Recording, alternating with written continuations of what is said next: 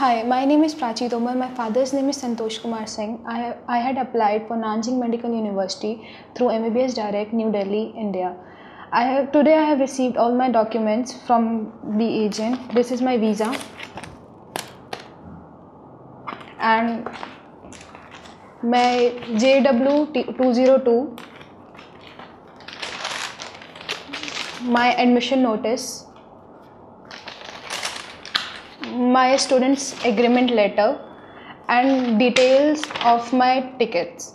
I am flying on September 6th, 2019.